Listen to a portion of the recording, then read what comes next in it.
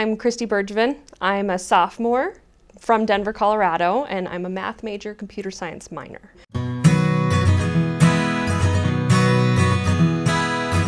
I started trying to go to school in the traditional time and wasn't really mature enough for it. So I took some time and worked as a waitress. Then I worked as a preschool teacher once I started going back to school and getting a couple of classes under my belt.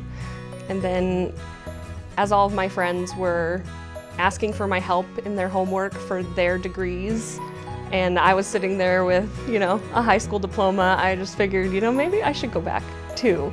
So I, I started in Calc 1 and just really connected with the teacher that I had, Professor Lehman, and I just really liked her style of teaching, so I got into math again, and I was like, wait, I can catch up, even though it's been 10 years since I took a math class. I can actually do this, and they had all this extra help. You can just walk down the halls, and teachers are willing to help you. They don't even have to be your teacher, and they'll help you, and so I was able to just get back into school and love it, and it was awesome.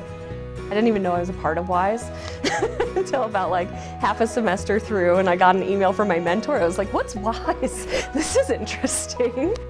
When last semester came around and they're looking for mentors, I was like, you know, that's really neat. That's something that I would want to be a part of.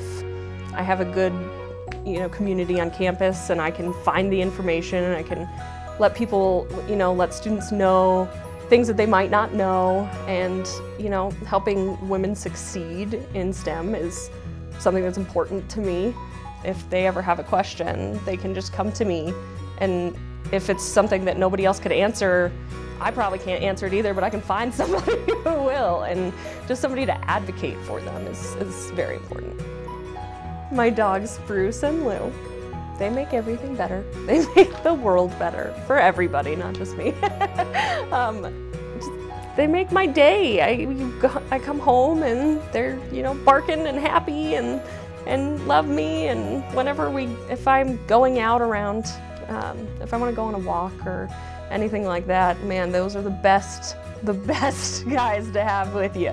They, they just love going on walks. They're crazy, they're nice, they're the best.